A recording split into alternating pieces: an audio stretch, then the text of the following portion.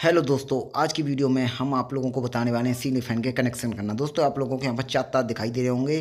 तो दोस्तों, आप लोगों को यहाँ पर रनिंग और स्टार्टिंग के दो तार, दो दो तार होते हैं। तो दोस्तों, ये दोस्तों रनिंग के हैं बार वाले और जो भीतर वाले हैं तो दोस्तों स्टार्टिंग के हैं। तो दोस्तों स्टार्टिंग में आप लोगों को वाइट या ब्लैक तार यूज़ कर सकते हैं। और रनिंग की बात करें, दोस्तों, यहाँ पर आप लोगों को जो बार वाली कॉल होती है, ये वाली, इसमें आप लोगों को रेड वायर यूज़ करना होगा। तो चलिए दोस्तों, वीडियो को पूरा देखना होगा। अगर आप लोगों को इस चैनल पर नए हैं दोस्तों चैनल को सब्सक्राइब कर देना। जैसा कि दोस्तों, मैं यहाँ पर रेड वायर लगा दिया है तो आप लोगों को इस तरह रेड वायर यहाँ पर यूज़ कर लेना होगा। और दोस्तों, और भीतर की बात करें दोस्तों, जो वहाँ पर आप लोगों को वाइट वायर लगा देना होगा। जिस तरह दोस्तों हमारे कनेक्शन हो चुके हैं दोस्तों, आप लोग बहुत ही अच्छी तरीके से इस प्रकार कनेक्शन कर लेना होगा।